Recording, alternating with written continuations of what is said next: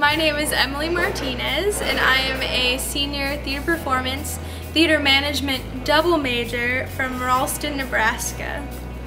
All the freshmen have to register for classes, so we're there to help them find the classes that they need and we help them go all the way through and register for their first class and then kind of let them try to figure it out on their own for a little while. There's also a printer, Colleen. Also inside jokes, there's tons you will have for your, the rest of your life if you do NSE. Parent session, uh, for the majority of it we play improv games and we take up guests from the audience. I always had to pretend to be the mom and we'd pull up a dad from the audience and he always had the darndest things to say. One time one guy didn't go along with it at all. He was just kind of like, who are you? I don't even know you. and then we'd also have Garrett Allen who was played the dad for the other student and then we'd have to get mom for him.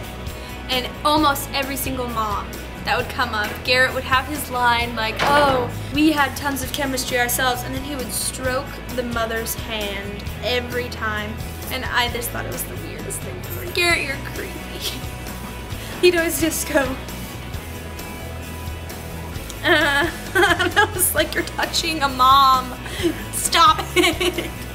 It's definitely opened me up more to the university as a whole, to UNL.